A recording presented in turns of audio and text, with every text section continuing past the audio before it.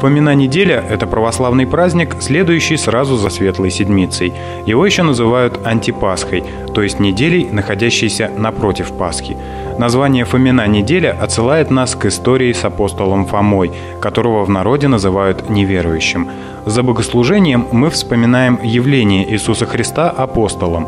Узнав о воскресении Господа, апостол Фома не поверил, сказав если не увижу на руках его ран от гвоздей, и не вложу перста моего в раны от гвоздей, и не вложу руки моей в ребра его, не поверю».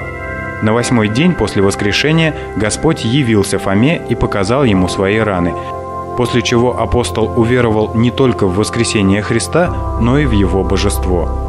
Раскаявшись в своем неверии, Фома обошел с проповедью почти всю землю, основав христианские церкви в Палестине, Эфиопии и Индии. Своим явлением апостолу Фоме воскресший Господь уверяет, что он имел по воскресении не мнимую призрачную плоть, а действительную причистую, с которой был пригвожден ко кресту и на которой остались от того даже по воскресении язвы.